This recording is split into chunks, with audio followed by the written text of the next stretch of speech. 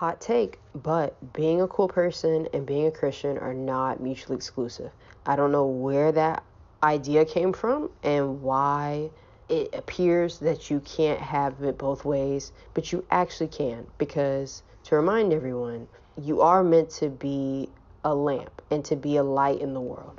It's great to have fellowship with other believers, other Christians, and to have that really strong community.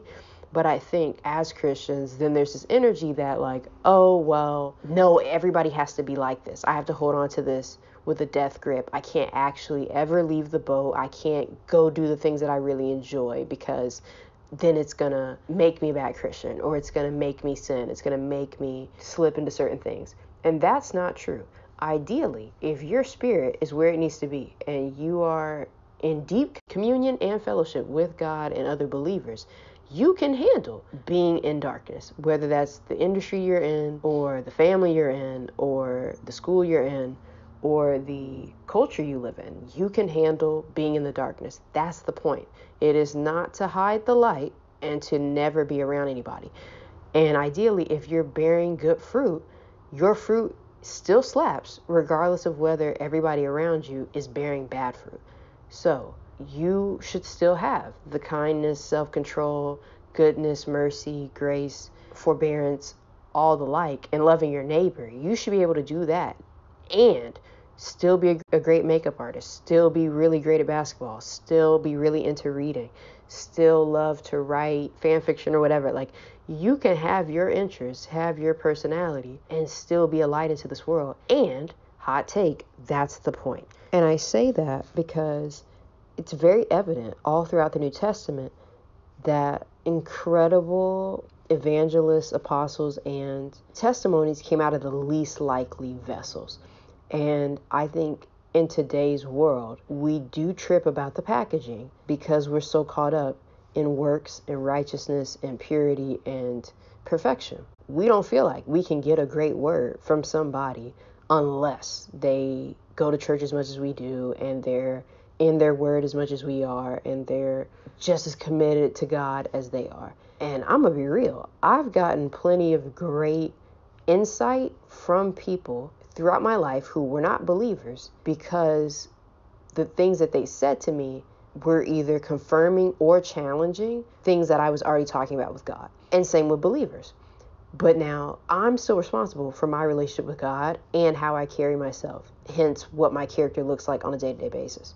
I'm not looking to everybody else to form that for me. I just say that to say you can find inspiration, motivation, insight, and revelation in the most random people, in the most bewildering circumstances, in the most beautiful ways, if you're open to that.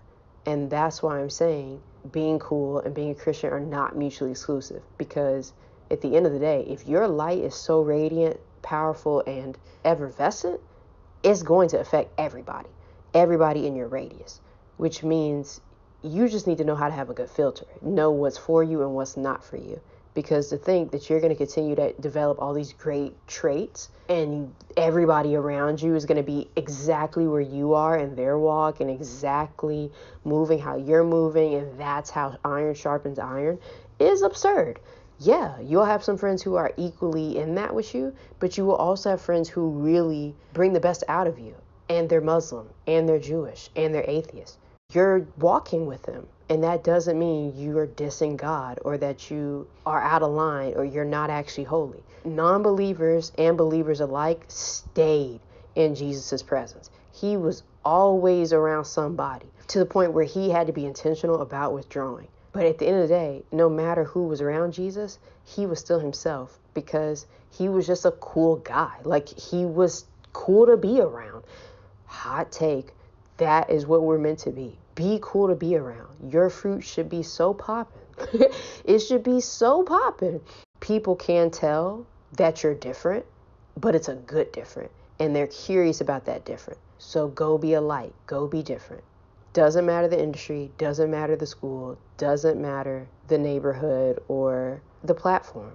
Go be light, go be different because that is the point of you being here. You're gonna go to heaven anyway. So why not bear witness by being cool and submitted at the same time?